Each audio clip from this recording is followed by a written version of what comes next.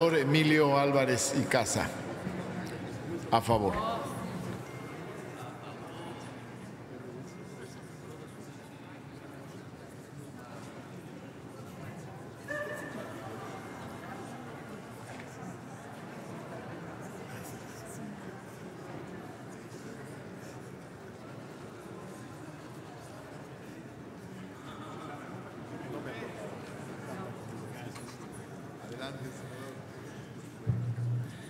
Buenas tardes, eh, distinguidos integrantes de la Asamblea, distinguidas integrantes.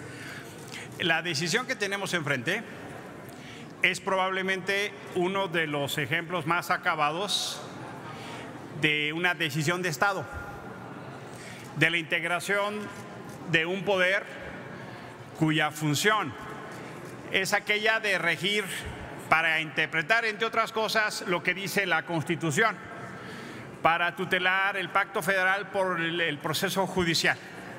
De manera que no es menor el proceso. Y sí creo, colegas, que nos corresponderá ir perfeccionando este método. Sí creo que dada la importancia, la trascendencia, tenemos que ir avanzando a los tiempos políticos que vive hoy México para que el Senado en esta decisión se abra ejercicios que incluyan un proceso de retroalimentación. Y yo me di a la libertad de hacer un pequeño ejercicio, consultando a redes sociales qué pudiéramos hacer para la integración de una terna. Y debo decirles que, el resultado fue muy bueno. Eh, recibí 21 propuestas que venían de universidades, de colegios de abogados, de abogadas, de distintas iniciativas civiles. Eh, me postularon, me presentaron, me sugirieron a 21 personas, nueve de ellas mujeres, 12 de ellos hombres. Y debo decirles que eh, personas de una extraordinaria trayectoria, resalto por ejemplo nombres como el de Leticia Bonifaz, Guadalupe Madrigal, Andrea Zambrano, Diana Rosalía Bernal, Magda Lilia, Mónica López Benítez, Celia Maya, en fin. Pero también me sugirieron hombres como Eduardo Ferrer MacGregor, Jean-Claude Trompetit, Pedro Salazar. Solo pongo estos nombres a título indicativo. Y me parece que es el proceso que tenemos que llevar en términos de un escrutinio, un debate abierto. Creo que sí es importante que abramos nuestras deliberaciones y que eso vaya retroalimentando.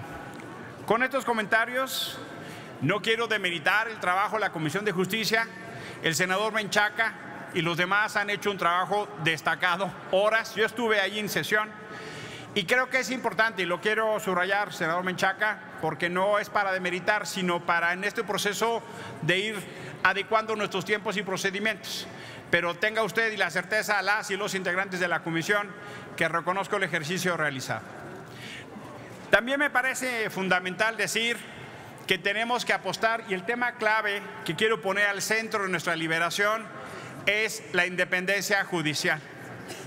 El tema central a discutir tiene que ver entonces en cómo quienes integran la Corte mantenga la independencia judicial, por ejemplo, de los poderes fácticos, a la hora de las llamadas telefónicas de las televisoras, a la hora de la llamada, por ejemplo, sí, de algunos grupos de poder que tienen intereses en los litigios, incluso a la hora de la llamada de las y los senadores o del presidente de la República. Las y los integrantes del Poder Judicial tienen que ser garantes de la autonomía y la independencia judicial.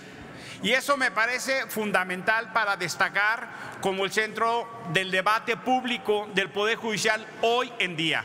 La autonomía y la independencia judicial se convierten hoy en el centro de la actuación judicial y eso es parte de lo que, en mi opinión, tenemos que garantizar. Tenemos que garantizar y sí avanzar en la idea de la idoneidad del cargo, como muchos de nosotros luchamos a lo largo de nuestra vida desde la oposición para que no ocuparen ese cargo quienes tienen militancia, que si bien es un derecho, no reúne la idoneidad del cargo. En mi opinión, Este dictamen es de apoyarse en la lógica de generar una decisión de Estado. Y por eso estoy acá. En la regla y el andamiaje constitucional es el proceso que hay que seguir y lo vamos a seguir. Creo que tenemos los elementos y condiciones para mejorarlo, pero en las condiciones actuales me parece que reúne los elementos no solo de avanzar y de apoyar este dictamen, pero sí de mandar un mensaje poderoso a favor de la autonomía y la independencia y en mi caso agradecer a las decenas de personas que se tomaron la molestia para retroalimentar, discutir lo que pudiera ser el futuro del Poder Judicial Federal. Muchísimas gracias por su atención.